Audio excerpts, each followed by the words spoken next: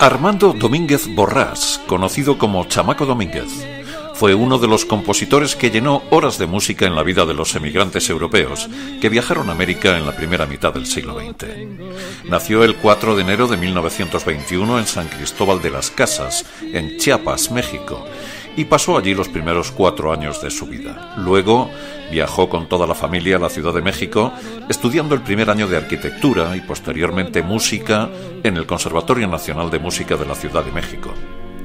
Allí comenzó su carrera de compositor a los 14 años.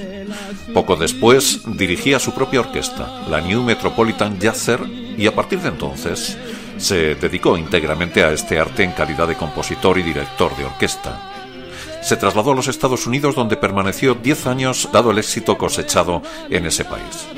Su fama mundial llega con la canción Miénteme, que hoy sigue siendo un éxito y que han interpretado entre otros el trío Los Diamantes, Olga Guillot o José Feliciano. Recibió numerosos reconocimientos.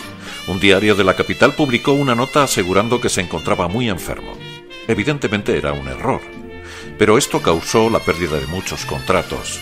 Lo cierto es que Chamaco Domínguez fue reconocido como pianista y compositor, alternando con algunas de las mejores orquestas, entre ellas la de Luis Alcaraz, Venus Rey o el mismísimo Xavier Cugat. El maestro Chamaco Domínguez falleció el 17 de mayo de 1985, dejando un importante legado artístico en el acervo de la música popular mexicana. verbo sumen